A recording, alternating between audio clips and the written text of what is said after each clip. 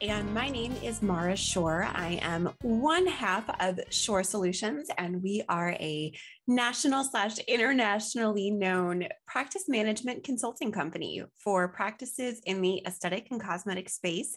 We are truly, we are based in Florida. Uh, partners include myself and the founding partner, who was not only my business partner, but my father, Jay Shorr, as well. He is going to be speaking separately for sessions here at AFPRS.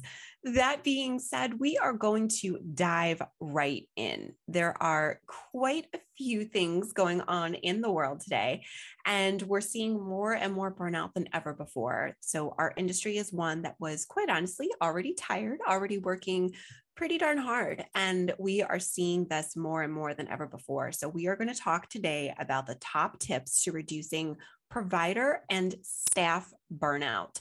So, let's go ahead and get started. To kick things off, I don't have anything to disclose to you today. Other than I am happy to be here. I wish we could be in person, but I don't have anything else to disclose to you today.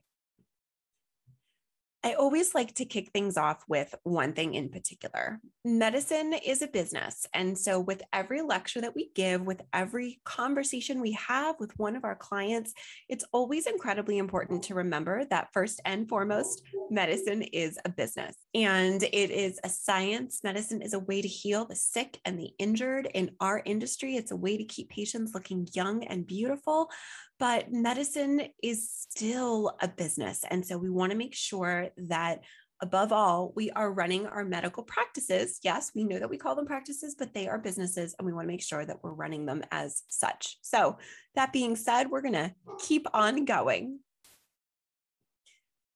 Tip number one you want to make sure that you are driving your to do list. And quite honestly, your to do list isn't driving you. Now, we want to make sure that you go into every day having your to do list organized in a way that works for you. For some people, it's an electronic to do list. For some people, it is pen and paper. I'm fully going to admit I do both.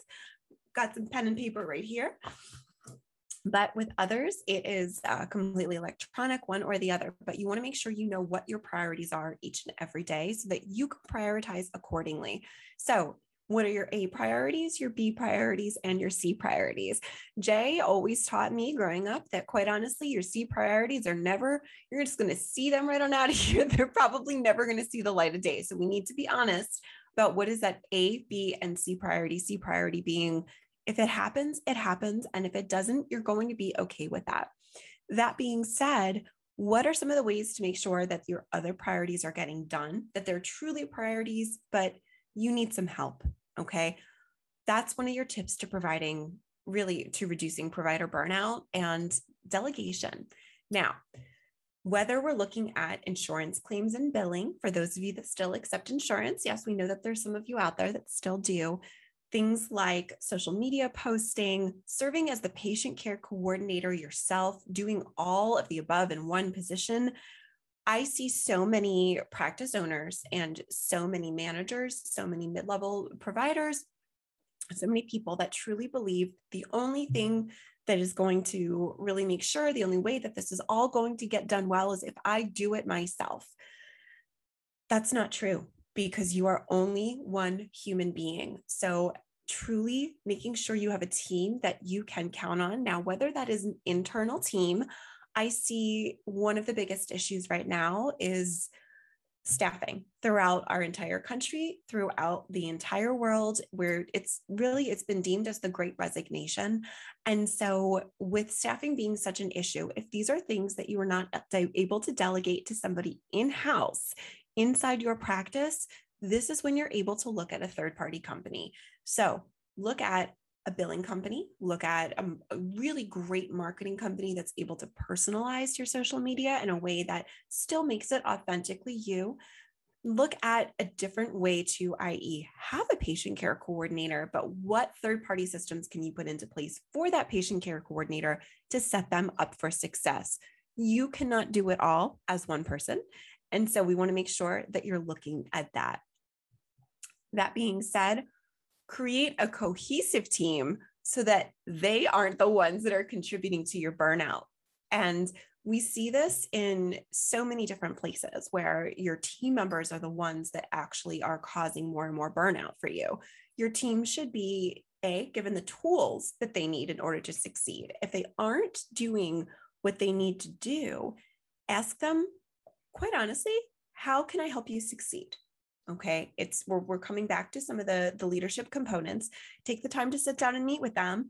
And if you give that little bit of care up front, not the little bit of care up front, but if you're giving them a, that extra care up front, then you are going to allow them to blossom just like a flower. For those of you that are gardeners out there, you know that when you first plant a plant, you need to water it a whole heck of a lot more than when that plant is really when that tree is grown when that really sturdy plant is is good to go then it is able to succeed on its own much more and requires less hand holding so we want to make sure that you have a cohesive team that works together. They work well with each other, they work well with you, they work well with the practice. So we want to make sure that they are not part of your stress. If they are part of your stress, then quite honestly, we need to start looking for new team members. Now, tip number four take a break from technology. Once you have a strong team in place, it is okay for you personally to take a step back from technology because we want you to create a plan for who will help with that cross coverage. So, who is going to be responding to patient emails and patient leads? So, whether that's email, phone, text, a third party site, social media, et cetera, who's going to respond to that so that you are not the only one that's able to do that? I encourage you, as the provider yourself, you should not be the only person that is handling staff issues. You should have someone in a management position, whether that's an office manager, a practice administrator, et cetera, have somebody in that position that's able to handle your staffing issues as well. This can be somebody that also functions in, in another role, but you want to make sure you have this person in place. In addition, who is going to handle the odds and ends of things, such as, and these are things you want to think of now, who on your team is able to answer false alarms from an alarm company, a fire company, a phone company, etc. You should not be the one that is putting out literally and figuratively all of these fires. And so I encourage you to roll this into someone else's job description that you know and trust so that you are able to step away because this is something that can absolutely be delegated. Now, tip number five as we're talking about teamwork and we're talking about reducing burnout, because a good team is truly going to help you reduce burnout. That's why we really make sure to, to focus on this. So, tip number five know what your team values. You'll know that I always like to refer to them as your team. I don't truly tend to use a whole lot the words employees or staff. I tend to really love to use the word team we use that with our team as well. So we mm-hmm. always say with Team Shorr Solutions, we do that with our clients. And that is absolutely for us been a game changer as well, because your team will then think about themselves, each other, and you as a team. Who is the leader of the team? We joke all the time. Jay is our company dad, not just because he is my dad, he's literally old enough to be everybody's father. For some people, maybe grandfather, but we think about teams and how teams are put into place. We want to make sure that everybody on your team is treated with respect. They are able to be afforded some of that work life balance in place as well. And we're not burning out the team members that we already have. We know, again, that there's an incredible shortage right now. So, as the leader, we need to make sure to protect our team, just like we would protect our own families from burning out what are the fair benefits that your practice is offering to help your team members from providing burnout or, or getting burned out? And what are you providing as far as self care? And that is going to look different for every practice. So, we have some practices that might have people that are very heavily into the outdoors. So, that when they do group retreats, they're doing things that are outside, their hikes, their 5Ks, they're active. We have others that are more interested in in office meditation and mindfulness workplace wellness programs. We even at Shorr Solutions, we include, for example, in our self care, a self care stipend for every one of our team members every month. And it's optional, it's not giving to them as cash or in their paycheck, it is given to them as, as a reimbursement but and it's up to a certain amount this can be for a healthy eating uh, subscription plan. There's a number of them out there. It could be to go towards a gym membership or yoga classes. It could go towards anything that makes them feel like they're able to take care of themselves. So we give them a self care stipend. We want to make sure that it works for them. We can't tell someone else what kind of self care works for them. So keep that in mind. With that, serve as a role model for your team so that your team isn't just told what to do, but show them what to do, show them how respect looks. If you expect them to wish you a happy birthday, for instance, if you expect them to check in with each other when they're not feeling well, because that's going to build camaraderie, make sure you're doing the same. Make sure that you're wishing your team a happy birthday. That's something we always make sure to do with our team members. So our team is entirely remote. So our team is a little bit different, but our team members get a little special something on their birthday. So for some team members, it's flowers. For other team members, we have one team member, Jay, i.e., that loves golf. Anyone that's ever met Jay will know he just could talk about golf all day long. And so we got him golf balls with his face on them. Uh, he loved them, although quite honestly said that he is not really wanting to like smash the the ball with his own face on it. So we didn't think that part through, but they're a great, great novelty. Um, but serve as a role model to check in with your team, smile at your team, don't hold grudges with your team, talk to your team with respect. We've all seen a meme that's going around right now that says the entire world is short staffed, every business is short staffed. Be kind to those that showed up. I truly, truly encourage make sure that you are being kind to your team members and make sure that you are working with them. Show them what that respect looks like. Don't just tell them. Now, this goes hand in hand. Tip number seven is removing the negativity from your office. Now, I have seen it all. This includes the yelling, the eye rolling, the tardiness, talking back to each other. As the leader of the practice, this should not be tolerated in your practice.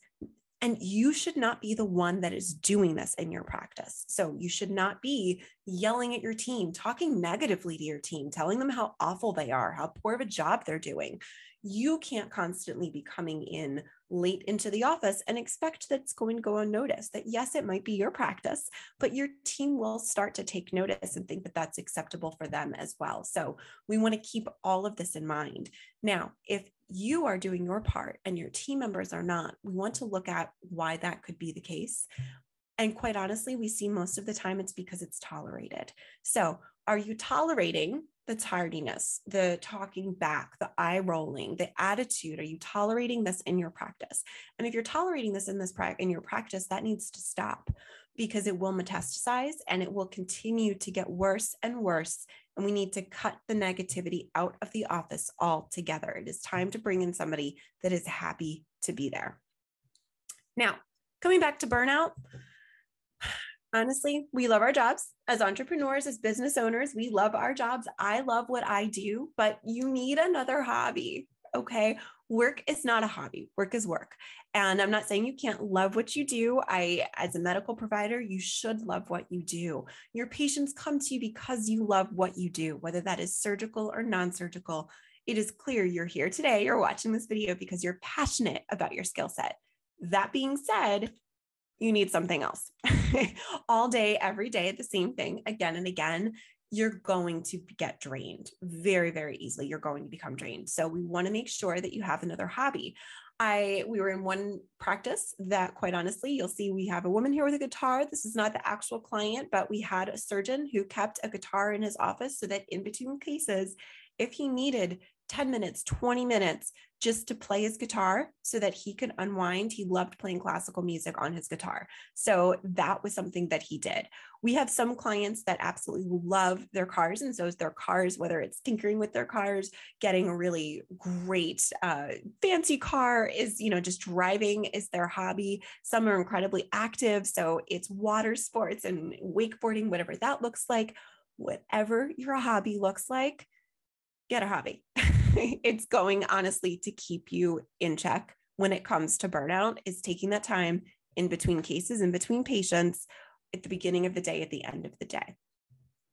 Now, tip number nine be basic, embrace healthy habits because that is what is going to be a game changer for you. So, are you drinking enough water, eating breakfast, getting enough sleep? Are you exercising? Are you moving throughout the day, not just standing all day just because you stood all day with your patients doesn't mean that you actually exercised and moved. Are you able to spend time with friends and family as the pandemic allows, as it is safe? Uh, there's an acronym that somebody had once said when it came to feeling burned out and anxious and tired and, and just sluggish. And they, you know, they gave me the acronym, which was HALT, H A L T. And they said to do a check in with yourself. If you're feeling those things, if you're feeling that burnout, about hungry, angry, lonely, or tired. Okay. Are you hungry? Have you had water? So I actually have water in here. Despite I had several cups of coffee this morning, uh, some breakfast, but now I'm, I'm at water. Are you thirsty or are you hungry? Have you had nutrients or are you living off of vending machine donuts? I love a good donut. Don't get me wrong, but you don't feel your best when you're not eating well. Are you angry? Are you frustrated? Whether it's because of the pandemic, whether it's because you are just frustrated with the general issues of the world. Are you angry? Are you lonely? Have you checked in with, with people that are close to you and spent time with the people that you truly love and appreciate and make you feel good? Are you tired? Are you staying up at night worrying about the business? Um, do you need more sleep? Are you staying up at night because you don't get enough accomplished during the day? What does that look like? So, hungry, angry, lonely, tired. You want to make sure you're checking in with yourself on these items. Tip number 10 when we talk about reducing and just really reducing provider burnout and team burnout, automate as much as possible in your practice. So, contract renewals, make sure you know when all of your contract renewals are coming up and you're not scrambling at the last minute. What does your weekly to do list look like? Keep that organized. That was one of the things that we talked about ordering supplies, how can you either delegate this or automate this? And even ordering your groceries, something that sounds so simple. We've all gotten a lot more used to it, I think, this past year and a half. But what can you do that is going to help you automate and make your life easier? So, with that, those are our my top 10 tips to reducing burnout. If you liked what I heard to say and want to learn more, if you want to learn more about how Shorr Solutions can help you in your practice, here is our contact information. We always offer a 30 minute free consult with practices that are looking to learn more. That being said, listen to our podcast at Shorr Solutions, the podcast. Who doesn't love great branding? And contact us, contact me if you have any additional questions. Thank you so much for listening to the top tips to reducing provider and staff burnout. Please, again, let me know if you have any more questions.